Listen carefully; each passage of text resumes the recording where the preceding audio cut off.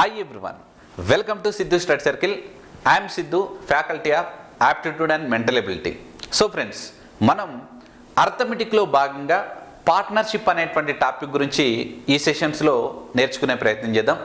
అయితే మీ అందరికీ తెలిసినటువంటిదే చాలా చాలా డెడిజీ టాపిక్ మనకు అర్థమెటిక్లో వన్ ఆఫ్ ది పార్ట్ ఏదైనా ఉంది అంటే అది పార్ట్నర్షిప్ అని చెప్పొచ్చు.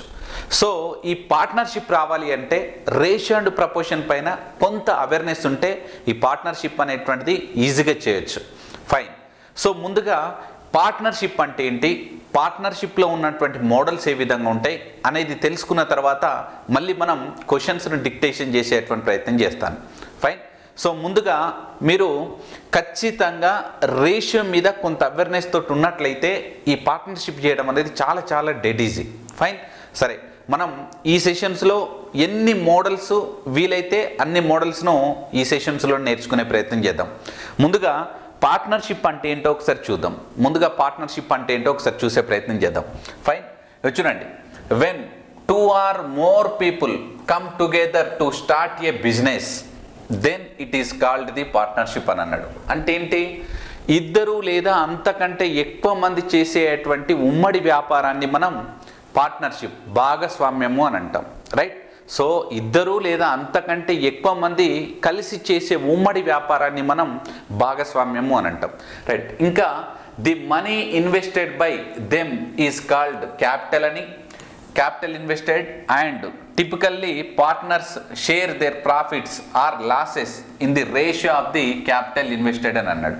సి క్వశ్చన్లో అంటే ఇక్కడ ఇచ్చిన ఇన్ఫర్మేషన్లో ఒకసారి అబ్జర్వ్ చేస్తే the money invested by them is called అని అన్నాడు. అంటే వాళ్ళు పెట్టినటువంటి పెట్టుబడి ఏదైతే ఉందో డబ్బును ఇక్కడ మనం పెట్టుబడిగా మూలధనంగా అంటారు. క్యాపిటల్ ఇన్ ది సెన్స్ మూలధనం అని తెలుగులో అంటారు. Fine next and typically partners share their profits or losses in the ratio of the capitals invested. C ఫైనల్గా వచ్చేటువంటి లాభాన్ని అట వాళ్ళు ఏ నిష్పత్తిలోనైతే పెట్టుబడులు పెట్టారో లాభాన్ని కానీ లేదా నష్టాన్ని కానీ సో వాళ్ళు ఏ నిష్పత్తిలో అయితే పెట్టుబడులు పెట్టారో అదే విధంగా పంచుకుంటారు అని చెప్తున్నారు. ఫైన్ సో ముందుగా మనం పార్ట్నర్షిప్ అంటే ఏంటో తెలుసుకున్నాం సో ప్రాఫిట్స్ని ఏ విధంగా పంచుకుంటారు అనేటువంటి విషయాన్ని కూడా ఈ సెషన్స్లో నేర్చుకుంటున్నాం. ఫైన్ సో ముందుగా ఇందులో ఉన్నటువంటి మోడల్స్ గురించి తెలుసుకుంటే మనకు వచ్చేటువంటి క్వశ్చన్స్ ఏ విధంగా ఉండబోతున్నాయి దానికి సంబంధించినటువంటి ఆన్సర్స్ ఏ విధంగా చేయాలని తెలుసుకోవచ్చు. మెయిన్గా మూడే మూడు మోడల్స్ అండి. ఈ మూడు మోడల్స్ కనుక మీరు నేర్చుకున్నట్లయితే అవుట్ ఆఫ్ హండ్రెడ్ క్వశ్చన్స్లో ఎట్లీస్ట్ ఎట్లీస్ట్ మీరు నైంటీ క్వశ్చన్స్ని చాలా ఈజీగా విత్ ఇన్ సెకండ్స్ లోపలే చేయొచ్చు. ఇక మిగిలినటువంటి ఒక టెన్ పర్సెంట్ క్వశ్చన్స్ ఏమైనా ఉంటే కనుక వాటిని మనం అనాలిసిస్ ఓరియంటేషన్లో చేసేటువంటి ప్రయత్నం చేద్దాం. అండ్ పార్ట్నర్షిప్ నుంచి మీకు ఎంత లేదైనా ఏ కాంపిటేటివ్ ఎగ్జామ్స్కి అయినా కూడా వన్ ఆర్ టూ క్వశ్చన్స్ రావడానికి ఛాన్సెస్ ఉందండి. One or two questions right so ఖచ్చితంగా ఒక క్వశ్చన్ లేదా రెండు క్వశ్చన్స్ రావడానికి ఛాన్సెస్ ఉంది. అది మీకు ఎస్ఐ కావచ్చు కానిస్టేబుల్ కావచ్చు లేదా గ్రూప్స్ కావచ్చు ఎస్ఎస్సీజీఎల్ కావచ్చు ఇంకా అంతకంటే పై స్థాయి ఉన్నటువంటి ఎగ్జామినేషన్స్ కావచ్చు. ఫైన్ సో ముందుగా వాటి యొక్క మోడల్స్ ఈ సెషన్స్లో తెలుసుకునే ప్రయత్నం చేద్దాం. రైట్ సో ఇక్కడ ఒకసారి అబ్జర్వ్ చేద్దాం. మొత్తం మూడు మోడల్స్ అని చెప్పాం కదా ఆ మూడు మోడల్స్లో ఫస్ట్ మోడల్ గురించి మాట్లాడుతున్నా ఫస్ట్ మోడల్ గురించి మాట్లాడుతున్నా. రైట్ సో ఇక్కడ ఒకసారి అబ్జర్వ్ చేస్తే కనుక when time periods are equal అంటే ఇద్దరు వ్యక్తుల యొక్క పెట్టుబడులు గనక సారీ ఇద్దరు వ్యక్తుల యొక్క కాల పరిమితులు గనక సమానంగా ఉన్నట్లయితే అంటే ఇద్దరు కూడా సమానమైనటువంటి కాలానికి పెట్టుబడులు పెట్టినట్లయితే అప్పుడు వాటి యొక్క ప్రాఫిట్స్ అనేటువంటిది ఏమవుతాయంటే వాళ్ళ యొక్క ఇన్వెస్ట్మెంట్ రేషియోనే వాళ్ళ యొక్క ప్రాఫిట్ రేషియో అవుతుంది. వాళ్ళ యొక్క ఇన్వెస్ట్మెంట్ రేషియోనే వాళ్ళ యొక్క ప్రాఫిట్ రేషియో అవుతుంది. రైట్ ఇక్కడ అదే రాసాను చూడండి. When time periods are equal వాళ్ళ యొక్క కాల పరిమితులు వాళ్ళ యొక్క కాలాలు పెట్టు కాలాలు అనేటువంటిది కనుక సమానంగా ఉన్నప్పుడు ఇన్వెస్ట్మెంట్ రేషియో పెట్టుబడుల నిష్పత్తే వాళ్ళ యొక్క లాభాల నిష్పత్తికి ఈక్వల్ అవుతుంది. పెట్టుబడుల యొక్క నిష్పత్తే వాళ్ళ యొక్క లాభాల నిష్పత్తికి ఈక్వల్ అవుతుంది. ఎగ్జాంపుల్ కూడా చెప్పే ప్రయత్నం చేశాను. ఒకతను ట్వంటీ థౌజండ్ రూపీస్ తోటి పన్నెండు నెలల కాలానికి అంటే సంవత్సరానికి పెట్టుబడి పెట్టాడు. ఇంకొకతనేమో ముప్పై వేల రూపాయలతోటి సేమ్ సమానమైనటువంటి కాలానికే పెట్టుబడి పెట్టారు. సో అలాంటప్పుడు పన్నెండు పన్నెండు గెట్ క్యాన్సిల్ అవుతుంది. ఇక్కడ పన్నెండు ఇక్కడ పన్నెండు తీసుకోవాల్సినటువంటి అవసరం లేదు. అండ్ వీటి యొక్క రేషియో తీసుకుందాం. ఇన్వెస్ట్మెంట్ రేషియో ఎంత అన్నట్టు? ట్వంటీ థౌసండ్ ట్వంటీ థౌసండ్ అంటే టూ పార్ట్స్ అనుకోండి. థర్టీ థౌసండ్ అంటే త్రీ పార్ట్స్ అంటే investment ratio two is to three వచ్చింది. ఫైనల్గా ప్రాఫిట్ రేషియో కూడా మనకు టూ ఇస్టి త్రీనే వచ్చింది. రైట్ సో ఈ విధంగా. ఇక్కడ మనకు investment into time is equal to ఏమవుతుంది అంటే ప్రాఫిట్ అవుతుంది investment into time is equal to ఏమవుతుంది అంటే ప్రాఫిట్ అది నెక్స్ట్ వచ్చేటువంటి స్లైడ్లో చెప్పే ప్రయత్నం చేస్తాను. రైట్ సో ఇక్కడ మీరు గమనించినట్లయితే ఈ ఇన్వెస్ట్మెంట్ టైం అనేటువంటిది ఎప్పుడైనా సరే టైం పీరియడ్ ఈక్వల్ అయితే అప్పుడు వీటి యొక్క ఇన్వెస్ట్మెంట్ రేషియో ఏ విధంగా ఉంటుందో ప్రాఫిట్ రేషియో కూడా అదే విధంగా ఉంటుంది. ఇది చాలా చాలా ఇంపార్టెంట్ రైట్ నెక్స్ట్ టైం ఏమైనా క్వశ్చన్స్లో ఒకవేళ టైం పీరియడ్ కనుక ఈక్వల్ ఉందనుకోండి అప్పుడు ఇన్వెస్ట్మెంట్ యొక్క రేషియోనే ప్రాఫిట్ రేషియో అవుతుందనే విషయాన్ని మీరు గుర్తుపెట్టుకోండి. ఇది ఫస్ట్ మోడల్ అండి. ఫస్ట్ మోడల్లో చాలా క్వశ్చన్స్ వస్తాయి. ఈ మోడల్ను గుర్తుపెట్టుకునే ప్రయత్నం చేయండి. అండ్ రెండో మోడల్ వచ్చేసి రెండో మోడల్ కనుక ఒకసారి మనం గమనించినట్లయితే when time periods are not equal అంటే కాల పరిమితులు గనక సమానంగా లేనట్లయితే కాలాలు గనక సమానంగా లేనట్లయితే అప్పుడు అప్పుడు ప్రాఫిట్ రేషియో అనేటువంటిది దేని మీద ఆధారపడుతుందో ఒకసారి చూద్దాం right so investment into time investment into time దీన్ని మనం తెలుగులో చెప్పాలి అంటే కనుక పెట్టుబడి పెట్టుబడి పెట్టుబడి ఇంటూ కాలం పెట్టుబడి ఇంటూ కాలం. ఈజ్ ఈక్వల్ టు ఏమవుతుంది? మరి పెట్టుబడి ఇంటూ కాలం అనేటువంటి దేనికి ఈక్వల్ అవుతుంది అని అంటే మనకు లాభానికి ఈక్వల్ అవుతుంది. లాభానికి ఈక్వల్ అవుతుంది. రైట్ మరొకసారి చూడండి. పెట్టుబడి మరియు కాలాల యొక్క నిష్పత్తి లాభానికి ఈక్వల్ అవుతుంది. దీన్నే మనం పార్ట్నర్షిప్ అంటాం. దీన్నే మనం పార్ట్నర్షిప్ అంటాం. Invest the product of investment and time which is equal to the partnership which is equal to the profit also right so కాబట్టి మనం పార్ట్నర్షిప్ అంటే ఒక ఫార్ములా చెప్పాలి అంటే పి ఇంటూ టీ అని చెప్తాం. P into T right so మరి P అంటే ప్రిన్సిపల్ అని కూడా చెప్తాం. దీన్నే ఇన్వెస్ట్మెంట్ అని చెప్తున్నా నేను. పి అంటే మళ్ళీ మీరు ప్రాఫిట్ అనేటువంటిది కూడా ఉంటుంది. కన్ఫ్యూజ్ అవుతారన్న ఉద్దేశంతో నేనేం చెప్తున్నా అంటే ఇన్వెస్ట్మెంట్ అని చెప్తున్నాను. రైట్ దాన్నే క్యాపిటల్ అని కూడా చెప్పొచ్చు. బట్ ఇప్పుడైతే గుర్తుపెట్టుకోండి ఇన్వెస్ట్మెంట్ మరియు టైం పీరియడ్ యొక్క లబ్ధం దేనికి ఆధారపడుతుందంటే లాభానికి ఈక్వల్ అవుతుంది. రైట్ సరే ఓకే ఇక్కడ ఒక ఎగ్జాంపుల్ చెప్పే ప్రయత్నం చేశాను. ఒకతను ఇరవై ఐదు వేల రూపాయల పెట్టుబడితోటి మరొకతను ముప్పై ఐదు వేల రూపాయల పెట్టుబడితోటి ఒక వ్యాపారంలో భాగస్వాములు అయ్యారు ఈయనేమో నాలుగు నెలల కాలానికి పెట్టుబడి పెడితే ఈయనేమో మూడు నెలల కాలానికి పెట్టుబడి పెట్టారు. మరి వీళ్ళిద్దరి యొక్క లాభాల నిష్పత్తి these are the profit ratio అండి. మరి ఏ విధంగా ఉంది? ట్వంటీ పార్ట్స్ ట్వంటీ వన్ ఉంది. Twenty parts next twenty is to twenty one. అంటే ఈయనేమో ట్వంటీ ప్రాఫిట్ పొందుతా ఉన్నాడు ట్వంటీ పార్ట్స్ ఈయనేమో ట్వంటీ వన్ పార్ట్స్ ప్రాఫిట్ పొందుతా ఉన్నాడు. రైట్ సో నెక్స్ట్ ఇందులోనే ఇంకొక విషయాన్ని చెప్పే ప్రయత్నం చేస్తాను చూడండి. ఇందులోనే ఇంకొక విషయాన్ని ఇక్కడనే లైవ్గా చెప్పేటువంటి ప్రయత్నం చేస్తాను మీకు. సపోజ్ ఒకతను ఒకతను పదివేల రూపాయల పెట్టుబడి పెట్టాడు. పదివేల రూపాయల పెట్టుబడి పెట్టాడు. ఇతను పన్నెండు నెలల కాలానికి పెట్టుబడి పెట్టాడు. ఇంకొకతను ఏం చేశాడు అంటే ఇతను ఇరవై వేల రూపాయల పెట్టుబడి పెట్టాడు.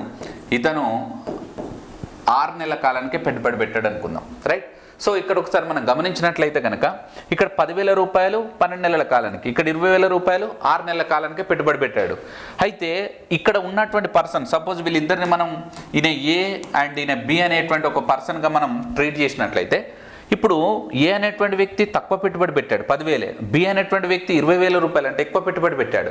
అయినంత మాత్రంలో బి నేను ఎక్కువ పెట్టుబడి పెట్టినా కదా నాకు ఎక్కువ ప్రాఫిట్స్ వస్తాయని ఆశించొద్దు. ఆయన పెట్టినటువంటి కాలం అనేటువంటిది కూడా డిపెండ్ అవుతుంది. సో కాబట్టి ఇప్పుడు ఒకసారి చూద్దాం. ఇవో ఫోర్ జీరోస్ ఉన్నాయి. Four zeros get cancel next పన్నెండు ఒకట్ల పన్నెండు. నెక్స్ట్ అక్కడ కూడా టూ ఇంటూ సిక్స్ ఎంత? పన్నెండు. అంటే రేషియో ఏమొచ్చిందంటే మనకు? One is to one one is to one ratio వచ్చింది. కాబట్టి ఎప్పుడైనా సరే పార్ట్నర్షిప్ అనేటువంటి దేని మీద డిపెండ్ అవుతుంది అని అంటే ఇన్వెస్ట్మెంట్ ఇంటూ టైం పీరియడ్ యొక్క లబ్ధం మీద డిపెండ్ అవుతుంది. మరొకసారి అబ్జర్వ్ చేయండి. నేను మళ్ళీ మళ్ళీ చెప్తున్నాను. ఎవరు ఎక్కువ పెట్టుబడి పెడితే వాళ్ళకి ఎక్కువ లాభాలు రావు. ఎవరు తక్కువ పెట్టుబడి పెడితే వాళ్ళకి తక్కువ లాభాలు రావు. రైట్ సో కాబట్టి ఎప్పుడు అది? When time periods are unequal not equal లేదా అన్ఈక్వల్గా ఉన్నప్పుడు మాత్రమే ఓ ఇక్కడ మనం టైం పీరియడ్ మరియు ఇన్వెస్ట్మెంట్ యొక్క రేషియో ప్రకారంగా తీసుకొని వాళ్ళ యొక్క ప్రాఫిట్ రేషియోను మనం అంచనా వేస్తాం. కానీ ఇంతకుముందు క్వశ్చన్లో ఇంతకుముందు మోడల్స్లో అట్లా కాదు. ఇందులో టైం పీరియడ్స్ కనుక ఈక్వల్ ఉంటే ఎవరు ఎక్కువ పెట్టుబడి పెడితే వాళ్ళకి ఎక్కువ లాభం వస్తుంది ఎవరు తక్కువ పెట్టుబడి పెడితే వాళ్ళకి తక్కువ లాభం వస్తుంది. అది గమనించాలి ఫస్ట్ మోడల్లో. చూడండి ఇతను ట్వంటీ థౌసండ్ పెట్టింది కాబట్టి టూ పార్ట్స్ వచ్చింది. ఇతను థర్టీ థౌసండ్ పెట్టింది కాబట్టి త్రీ పార్ట్స్ ప్రాఫిట్ వచ్చింది. ఎప్పుడు? Times are equal. టైం అనేటువంటిది ఈక్వల్గా ఉంటే ఎవరు ఎక్కువ పెట్టుబడి పెడితే వాళ్ళకి ఎక్కువ లాభం వస్తుంది ఎవరు తక్కువ పెట్టుబడి పెడితే వాళ్ళకు తక్కువ లాభం వస్తుంది. రైట్ సో ఇప్పుడు ఫస్ట్ సెకండ్ మోడల్స్ గురించి మనం మాట్లాడుకున్నాం. థర్డ్ మోడల్ గురించి. This is very very important and ఈ చాప్టర్లో కొంచెం కష్టతరమైనటువంటి మోడల్స్ ఏమైనా ఉన్నాయంటే ఇగో దీని మీద వస్తాయండి. క్వశ్చన్స్ కూడా కొంచెం కాంప్లికేషన్స్గా క్రిటికల్గా వచ్చేటువంటి అవకాశం ఏది అంటే ఈ మోడల్లో వస్తాయి. ఏంటిది? నిర్వహణ లేదా వాస్తవ భాగస్వామి. దీన్ని మనం వర్కింగ్ లేదా యాక్టివ్ పార్ట్నర్ అని చెప్తాం. అండ్ రెండోది ఏంటంటే స్లీపింగ్ పార్ట్నర్ దీన్ని మనం నిష్క్రియ భాగస్వామి అని చెప్తాం. రైట్ సో కాబట్టి ఈ working partner and sleeping partner గురించి మనం మాట్లాడుకోవాలి అంటే ఒక చిన్న లాజిక్ చెప్పే ప్రయత్నం చేస్తాను. సి ఇద్దరు వ్యక్తులు ఉన్నారు. ఒకతనేమో వర్కింగ్ పార్ట్నర్. ఇంకొకతనేమో స్లీపింగ్ పార్ట్నర్. స్లీపింగ్ పార్ట్నర్ అయినంత మాత్రాన అతను పెట్టుబడి పెట్టకుండా ఉండడు. ఇద్దరూ పెట్టుబడి పెడతారు. కానీ ఒకతనేమో పెట్టుబడి పెడుతూ మళ్ళీ అదే బిజినెస్ను చూసుకుంటూ ఉంటాడు. రైట్? అంటే నిర్వహిస్తూ ఉంటాడు మెయింటైన్ చేస్తూ ఉంటాడు అందులో యాక్టివ్గా పార్టిసిపేట్ చేస్తూ ఉంటాడు. మరి వీళ్ళిద్దరికీ అంటే ఈయన పార్టిసిపేట్ చేసినంత మాత్రాన ఇతనికి ఒక్కనికే లాభం రాదు కదా? ఎందుకంటే స్లీపింగ్ పార్ట్నర్ కూడా డబ్బులు పెడతా ఉంటాడు. వీళ్ళిద్దరు పార్ట్నర్షిప్గా ఉన్నప్పుడు వీళ్ళకి కొంత ప్రాఫిట్ వస్తుంది వీళ్ళకి కొంత ప్రాఫిట్ వస్తుంది. కానీ ఈ వచ్చిన మొత్తం ప్రాఫిట్లో ఈ బిజినెస్ను నిర్వహించినటువంటి పర్సన్ ఎవరైతే ఉంటారో ఇతనే మనం యాక్టివ్ పార్ట్నర్ అంటున్నాం వర్కింగ్ పార్ట్నర్ అంటున్నాం నిర్వాహక భాగస్వామి అని అంటున్నాం వాస్తవ భాగస్వామి అంటున్నాం. ఇతనికి ముందుగా ఆ వచ్చినటువంటి ప్రాఫిట్లో నుంచి సాలరీ తీసేయాలి జీతం తీసేయాలి. ఎందుకు? ఇతను ఆ బిజినెస్ కోసం ఇతనే వర్కింగ్గా ఉంటున్నాడు కాబట్టి యాక్టివ్గా ఉంటున్నాడు కాబట్టి ఆ నిర్వహణ బాధ్యతలు మొత్తం కూడా ఈయనే తీసుకుంటుండు కాబట్టి దాన్ని మెయింటెనెన్స్ చేస్తున్నాడు కాబట్టి. సో కాబట్టి ముందుగా ఇచ్చినటువంటి ఏదైతే వచ్చేటువంటి ప్రాఫిట్ టోటల్ ప్రాఫిట్ ఉంటుందో అందులోంచి ఈయన సాలరీ తీసేసిన తర్వాత రిమైనింగ్ ప్రాఫిట్ ఉంటుంది చూడండి. ఆ ప్రాఫిట్ని వీళ్ళు ఏ రేషియోలోనైతే ఇన్వెస్ట్మెంట్ చేశారో అదే రేషియోలో పంచుకోవాల్సి వస్తుంది. మరొకసారి అండి మరొకసారి. సి ముందుగా వర్కింగ్ అండ్ స్లీపింగ్ పార్ట్నర్స్ ఇద్దరు కూడా ఇన్వెస్ట్మెంట్ పెడతారు. వర్కింగ్ పార్ట్నర్ అనేటువంటి వ్యక్తి మాత్రమే యాక్టివ్గా ఉంటాడు. ఆ బిజినెస్ మొత్తం కూడా ఈయనే చూసుకుంటూ ఉంటాడు. అండ్ స్లీపింగ్ పార్ట్నర్ కేవలం డబ్బు మాత్రం పెట్టుబడిగా పెడతా ఉంటాడు. ఆ అందులో ఏ మాత్రం కూడా అతను యాక్టివ్గా ఉండడు.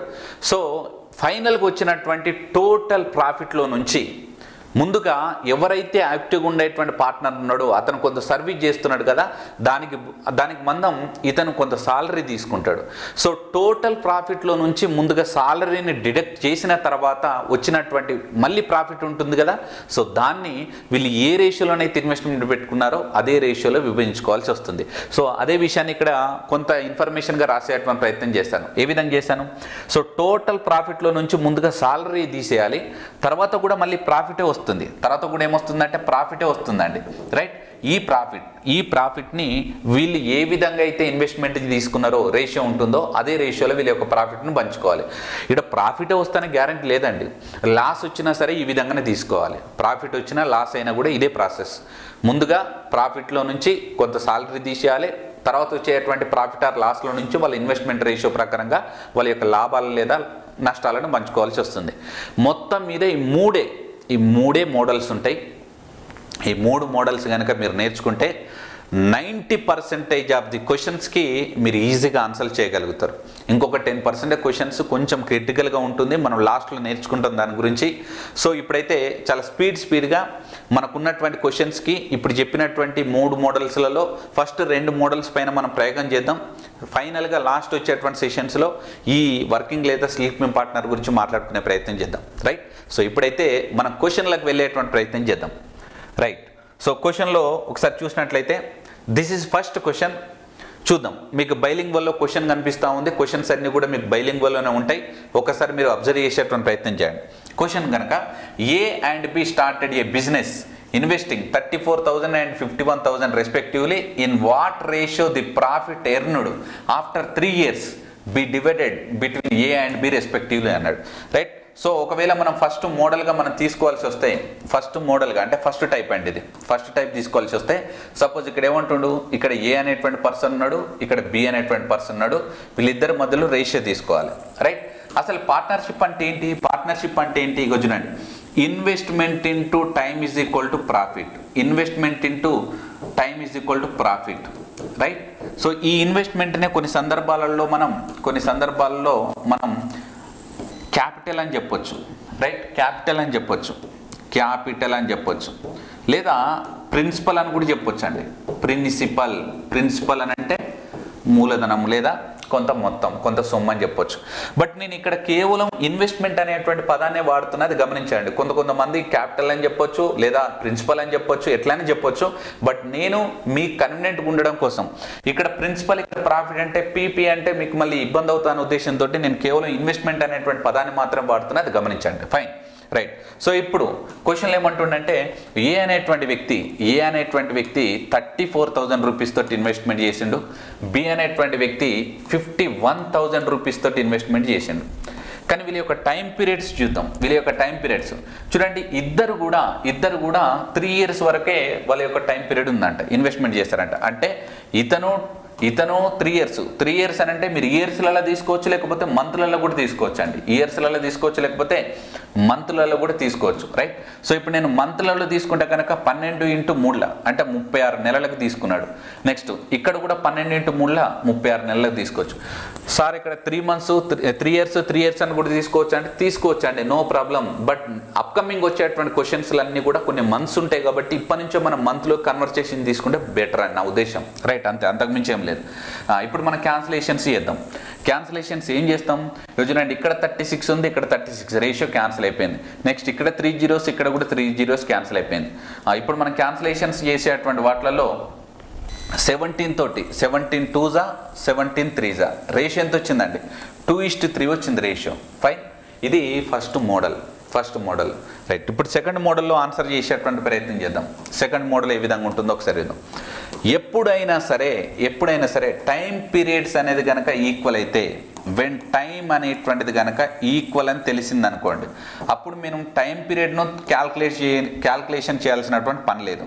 జస్ట్ ఇన్వెస్ట్మెంట్ రేషియోనే వాళ్ళ యొక్క ప్రాఫిట్ రేషియో అవుతుంది అప్పుడు ఇన్వెస్ట్మెంట్ రేషియోనే ప్రాఫిట్ రేషియో అవుతుంది ఇది గుర్తుపెట్టుకోవాలి. ఇది గుర్తుపెట్టుకోవాలి. ఎప్పుడైనా అంతే ఇంకా. రైట్ సో ఇప్పుడు ఇన్వెస్ట్మెంట్ యొక్క రేషియో ఏ విధంగా ఉందో ఒకసారి చూద్దాం. ఇన్వెస్ట్మెంట్ చూడండి. ఒకైనా థర్టీ ఫోర్ అందులో మూడు సున్నాలు కాబట్టి ఇక్కడ కూడా మూడు సున్నాలు క్యాన్సల్ ఇక్కడ ఫిఫ్టీ వన్ కాబట్టి ఇక్కడ త్రీ జీరోస్ ఇక్కడ త్రీ జీరోస్ గెట్ క్యాన్సల్ ఇక మొత్తం మీద సెవెంటీన్ తోటి సెవెన్ టూజా సెవెన్ త్రీజా. కాబట్టి టూ ఇస్ట్ త్రీ. ఎప్పుడైనా సరే ఈ ఫార్మెట్లో ఆన్సర్ చేసేటువంటి ప్రయత్నం చేయండి. ఈ ఫార్మెట్లో ఆన్సర్ చేసే ప్రయత్నం చేయండి. మళ్ళీ మళ్ళీ చెప్తున్నాను ఫస్ట్ క్వశ్చన్ అప్పుడే.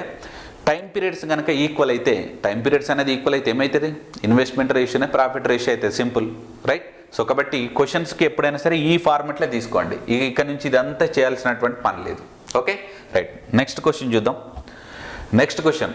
Naveen and Praveen started a business investing sixty five thousand rupees and ninety one thousand rupees respectively out of a total profit of one lakh eight thousand rupees share of Naveen is అని అన్నాడు right so ఇక్కడ మనం ఒకసారి గమనించేటువంటి ప్రయత్నం చేయండి. వీళ్ళు ఇక్కడ ఎక్కడ కూడా టైం పీరియడ్ గురించి మెన్షన్ చేయలేదు. టైం పీరియడ్ గురించి మెన్షన్ చేయకపోతే వాళ్ళ యొక్క ఇన్వెస్ట్మెంట్ రేషియోనే వాళ్ళ యొక్క ప్రాఫిట్ రేషియో అవుతుందని మనం అనుకున్నాం కదా. రైట్ మరి ఇన్వెస్ట్మెంట్ రేషియో ఏమవుతుందో ఒకసారి చూద్దాం. గుజరాత్. ఫస్ట్ నవీన్ తర్వాత ప్రవీణ్. వీళ్ళ యొక్క ఇన్వెస్ట్మెంట్ రేషియో చూ- చెప్తున్నాను. ఇన్వెస్ట్మెంట్ రేషియో ఇన్వెస్ట్మెంట్ రేషియో అంటే ప్రాఫిట్స్ అనేటువంటిది ఏ విధంగా రావాలి? ఇన్వెస్ట్మెంట్ ఇంటూ టైం పీరియడ్ తోటి రావాలి. ఇక్కడ టైం పీరియడ్ అనేటువంటిది రెండింటి కూడా ఈక్వల్ ఉంది కాబట్టి మీరేం చేయాలి? జస్ట్ ఇగో ఇక్కడ త్రీ జీరోస్ గెట్ క్యాన్సిల్ అయిపోతుంది. నెక్స్ట్ ఇక్కడ కూడా త్రీ జీరోస్ గెట్ క్యాన్సిల్. కాబట్టి sixty five is to ninety one. Sixty five is to ninety one. So thirteen తోటి క్యాన్సిల్ అవుతుంది. సో థర్టీన్ తోటి ఎంతలా? సో థర్టీన్ తోటి థర్టీన్ ఫైవ్ నెక్స్ట్ థర్టీన్ తోటి థర్టీన్ సెవెన్ జా so five is to seven అనేటువంటి ratio వచ్చింది. So ఈ five is to seven ratio అనేటువంటిది ప్రాఫిట్ రేషియో కూడా అవుతుంది. ప్రాఫిట్ రేషియో కూడా అవుతుంది. ఎప్పుడు టైం పీరియడ్స్ అనేది ఈక్వల్ అయితే ఇన్వెస్ట్మెంట్ రేషియో ఏదైతే అవుతుందో ప్రాఫిట్ రేషియో కూడా అదే విధంగా ఉంటుంది. గమనించాలి. రైట్ సో ఇప్పుడు మరి టోటల్ ప్రాఫిట్ ఎంత ఇచ్చాడు? One lakh eight eight thousand rupees అన్నాడు. మరి టోటల్ పార్ట్స్ ఎంత? Five plus seven twelve parts మరి ట్వెల్వ్ పార్ట్స్ యొక్క value one lakh eight thousand rupees అన్నాడు. One lakh eight thousand rupees అన్నాడు. Right so one lakh eight thousand rupees అయితే మరి Naveen share అంటుండే. ద షేర్ ఆఫ్ నవీన్ మరి నవీన్ యొక్క షేర్ ఎంత ఉంది seven parts right sorry Naveen యొక్క షేర్ ఫైవ్ పార్ట్సే ఉంది. సో మరి ఫైవ్ పార్ట్స్ యొక్క వాల్యూ ఎంత? సో ట్వెల్వ్ తోటి సో ట్వెల్వ్ నైన్జా వన్ నాట్ ఎయిట్ అంటే nine thousand so three zeros కామన్గా ఉంటుంది. ఫైవ్ ఇంటూ నైన్జా ఫార్టీ ఫైవ్ సో కాబట్టి ఫార్టీ ఫైవ్ థౌజండ్ అనేటువంటిది ఆన్సర్ ఫార్టీ ఫైవ్ థౌజండ్ అనేది ఆన్సర్ రైట్ ఆప్షన్ ఎక్కడుంది? Forty five thousand option B is the right answer option B is the right answer see ఇక్కడ నేను just మీకు explanation చేయడం కోసం మాత్రమే ఇంత బ్రాడ్గా రాసేటువంటి ప్రయత్నం చేశాను. రేపు ఎగ్జామినేషన్స్లో మీరు ఏం చేయాలి? ఇచ్చినటువంటి క్వశ్చన్ పేపర్లోనే కట్ చేసుకుంటూ వెళ్ళాలి. Three zero three zeros get cancel thirteen five జా థర్టీన్ సెవెన్ జా ఫైవ్ ఇస్ట్ సెవెన్ వస్తుంది. ట్వెల్వ్ పార్ట్స్ ట్వెల్వ్ పార్ట్స్ అనేది వన్ నాట్ ఎయిట్కి ఈక్వల్ అయితే ఫైవ్ పార్ట్స్ ఫార్టీ ఫైవ్ అవుతుంది. అక్కడ త్రీ జీరోస్ అయితే ఇక్కడ కూడా త్రీ జీరోస్ అని తీసుకోవాలి. ఫైన్ సరే రైట్ ఇది థర్డ్ క్వశ్చన్ సరే ఇది థర్డ్ క్వశ్చన్ గురించి మాట్లాడుకునే ప్రయత్నం చేద్దాం. A and B comma C అని అన్నాడు. రైట్ సో ఇక్కడ థర్డ్ క్వశ్చన్ ఒకసారి అబ్జర్వ్ చేస్తే A comma B and C enter into a partnership investing thirty five thousand forty five thousand and fifty five thousand respectively the respective the respective share of C is C in an annual profit of rupees forty thousand five hundred అని అన్నాడు. Right ఇక్కడెక్కడ కూడా time period గురించి mention చేయలేదు. Time period గురించి mention చేయకపోతే times are equal అని అనుకోవాలి అందరికి కూడా. So A is to B is to C అండి. A is to B is to C వీళ్ళ యొక్క ఇన్వెస్ట్మెంటే ఇన్వెస్ట్మెంటే ఇక ప్రాఫిట్ కూడా అవుతుంది. రైట్ ఇక ఇక్కడ నుంచి కొత్త విధంగా రాస్తే రాసే ప్రయత్నం చేస్తున్నాను. గమనించాలి. ఇక్కడ ఇన్వెస్ట్మెంటే ప్రాఫిట్ అవుతుంది. ఎప్పుడు టైమ్స్ అనేది ఈక్వల్ అయినప్పుడు మళ్ళీ ప్రత్యేకంగా ప్రాఫిట్ అని రాయాల్సినటువంటి పని లేదు. రైట్ ఇప్పుడు మనం క్యాన్సిలేషన్స్ చేద్దాం చూడండి ఇక్కడనే. ఇగో చూడండి three zeros cancel three zeros cancel three zeros cancel మనకి ఏమేమి మిగిలింది మరి మనకి ఇక్కడ ఇక్కడనే మనం క్యాన్సిలేషన్స్ చేస్తే so five thirty five seven జా ఫైవ్ థర్టీ ఫైవ్ నైన్ జా ఫైవ్ థర్టీ ఫైవ్ లెవెన్ జా కాబట్టి seven is to nine is to eleven వచ్చింది. Seven is to nine is to eleven అనేటువంటి వచ్చింది. రైట్ సో మొత్తం టోటల్ పార్ట్స్ ఎంత మరి? ట్వంటీ సెవెన్ పార్ట్స్ ఉన్నాయి టోటల్ పార్ట్స్ ఎంత? ట్వంటీ సెవెన్ పార్ట్స్ ఉంది. కానీ మన క్వశ్చన్లు ఏమి ఇచ్చాడు? క్వశ్చన్లు ఏమి ఇచ్చాడు? ఒకసారి అబ్జర్వ్ చేద్దాం. So the respective share of C in an annual profit of rupees forty thousand five hundred rupees అని అన్నాడు. అంటే మొత్తం టోటల్ టోటల్ పార్ట్స్ ఎంత అండి మనకు? Twenty seven parts. ఈ ట్వంటీ సెవెన్ పార్ట్స్ అనేది దేనికి ఈక్వల్ అవుతుంది? ఫార్టీ థౌజండ్ ఫైవ్ హండ్రెడ్ రూపీస్కి ఈక్వల్ అవుతుంది. అయితే అందులో అందులో ఎవరు షేర్ కావాలంటుడు? సి యొక్క షేర్. సి అంటే ఎంత? Eleven parts. ఇగో లెవెన్ పార్ట్స్ యొక్క వాల్యూ ఎంత? సి ఇక్కడ మనం గమనిస్తే లెవెన్ యొక్క మల్టిపుల్సే ఆన్సర్స్. ఇదంతా చేయాల్సినటువంటి పని లేదు. లెవెన్ యొక్క మల్టిపుల్స్ ఆన్సర్స్ అని క్లియర్గా తెలుస్తుంది. కాబట్టి లెవెన్ యొక్క మల్టిపుల్స్ ఏముంటే అవే ఆన్సర్స్ మరి లెవెన్ యొక్క మల్టిపుల్స్ ఏముండాలి ఆల్టర్నేటివ్ యొక్క నెంబర్స్ మనకు ఈక్వల్ ఉండాలి. ఆల్టర్నేటివ్ యొక్క డిజిట్స్ అనేటువంటిది ఈక్వల్ ఉండాలి. ఫైన్ సరే ఓకే. నేను చేసే ప్రయత్నం చేస్తున్నాను తొమ్మిది తోటి చేస్తున్నాను. తొమ్మిది తోటి తొమ్మిది మూల. నెక్స్ట్ తొమ్మిది తోటి తొమ్మిది మూల. ముప్పై ఆరు. ముప్పై ఆరు అంటే నలభై ఐదు. సో తొమ్మిది వేల నలభై ఐదు. రైట్ సో ఇప్పుడు థర్టీ ఫైవ్ హండ్రెడ్ అనేటువంటిది ఉంది. మరొకసారి చూడండి తొమ్మిది ముళ్ళ తొమ్మిది ముళ్ళ సారీ తొమ్మిది ముళ్ళు ఇరవై ఏడు కదా? సో తొమ్మిది నాళ్ళ అండి ఇక్కడ ఒకసారి గమనించండి. సో తొమ్మిది తోటి తొమ్మిది నాళ్ళ ముప్పై ఆరు.